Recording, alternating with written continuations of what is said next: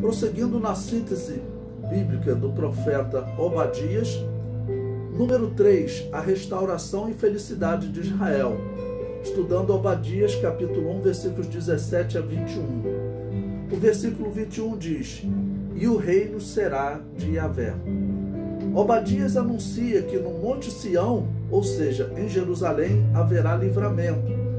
Mas este livramento é paralelo à santidade, pois é dito que este monte será santo, ou seja, assim como Jacó só recebe realmente a bênção de Deus quando ele muda de vida, e podemos até dizer que a grande bênção de Deus, na verdade, é, de Jacó é o que? A mudança da sua vida.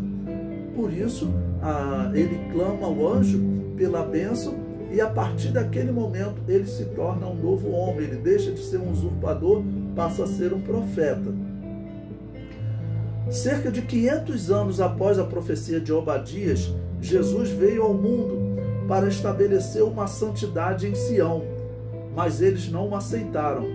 Pela profecia, eles aceitarão a Jesus, mas no fim da grande tribulação, quando estiverem para serem, é, ser destruídos pelo anticristo. Né?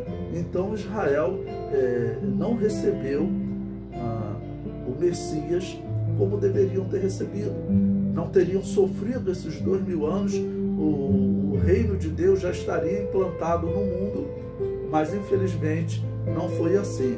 A ignorância espiritual foi maior do que a obediência a Deus. E sabemos que isso se deu muito por causa da interpretação errada que Israel tinha das Escrituras. Por isso é fundamental o cristão estudar bem a Bíblia Sagrada para que não aconteça nesses últimos dias um erro parecido. Porque Israel, eles apontavam os erros dos passados, mas cometiam erros semelhantes. Então nós não podemos apontar o erro de Israel causado por uma interpretação errada das Escrituras e cometermos este mesmo erro. A paz do Senhor para os irmãos.